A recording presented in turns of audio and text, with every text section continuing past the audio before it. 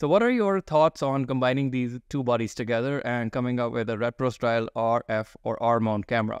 So does Canon really have plans to release a retro style EOS R camera in the future? Hi guys, thanks for watching this video. Welcome back to my regular viewers and hi again if you are new here. Don't forget to like, subscribe, all of those good things if you like this kind of content. So let's begin. During a photo and imaging show in Shanghai earlier this month, Canon representative did their normal interviews with various publications. As per usual, they were tight-lipped about future products. However, sometimes you can read between the lines, especially when they cannot confirm or deny products that are coming or like in the pipeline for the future.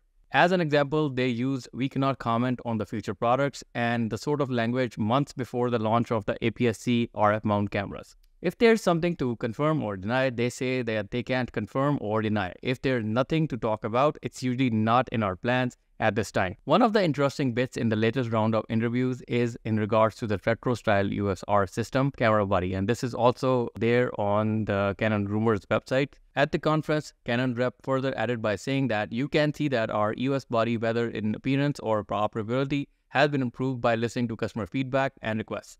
We attach great importance to the fact that there is a consumer base that wants a retro body, but it's a pity that we don't have uh, any more information to tell you. Now, this type of response to a direct question is likely telling us that Canon is at least considering a retro style camera body and likely beyond just thinking about it. While some customers don't care about how their cameras look like, uh, there are probably a lot of people out there who would be interested in a modern take on something like the Canon AE1 or Canon Net.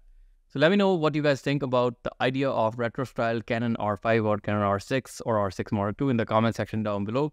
If you ask me, Canon has really enjoyed the sales of the R series cameras and I wouldn't be surprised if they come up with like some kind of special edition or retro style edition for Canon R5 while we are still waiting for R5 Mark II. So they can basically definitely come up with a new version like that uh, before the release of the R5 Mark II, which is gonna come by next year. So guys, that's it for today. Do let me know your feedback in the comment section down below. Don't forget to subscribe, like, and all of those good things. And I will see you guys in my next video.